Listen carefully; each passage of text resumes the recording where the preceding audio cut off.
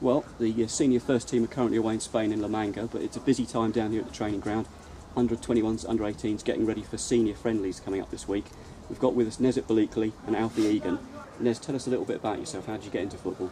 Um, I started football from the age of five or so. I went. I started off at my little league. I was there for a bit. Then I went on to a team called Corinthian Casuals, and after that, my dad thought I'll go and play at a better level.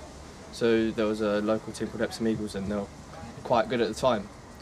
But then through friends and everyone, I got to know AFC, and then I started AFC under 14s, I think it was. Yeah, and I've been here ever since. And we've got Egli Kaja, who's got the Albanian background. You've got a Turkish Yeah. background. Tell us about that. Um, there's nothing much to say. I really, my parents were born in Turkey.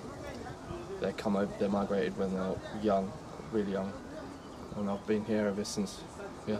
And Alfie picked up you from Spurs, yeah? Yeah, um, well, I started at Dulwich when I was quite young. I was there for quite a long time. And then I got picked up by Spurs. Unfortunately, it didn't work out. Uh, so about a week after, I come to AFC when I was about 15.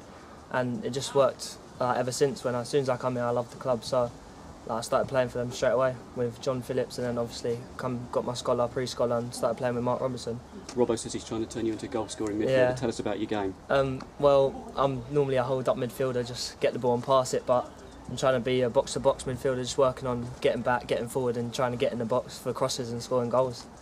And Nez, I think uh, Alan Reeves has really got his eye on you for the under 21s this season. Tell us about your game. Yeah, um, I've uh, for the under 18s. I started off as a left back, not as a left back, but to work on my defensive responsibilities. Mark Robinson thought it would be better if I played left back, so I understand the defensive mind of a, a footballer.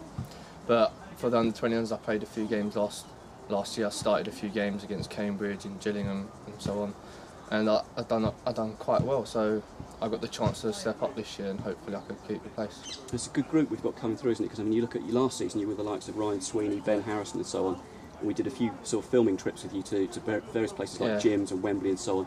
It's good camaraderie you had amongst yourselves as well. Yeah, they were learning from them was really good. Like Ben, he helped me a lot as left back because I wasn't too sure on what to, how I was meant to play as a left back.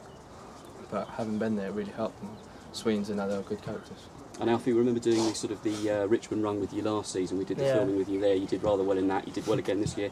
Yeah. How much do you sort of like the enjoy the old school type of uh, training under Mark Robinson? Yeah, it's really good. Like obviously we do a lot of fitness just to keep up ma- match fitness, and it just get like the mental side of it's a lot. So when you're like tired and you can't run, you got to like push yourself further. And obviously last year we done it with Danny G, and Danny G's with the 21s now. So like it's, it's similar now. Me and him playing together, so it's, it's good under Mark Robinson.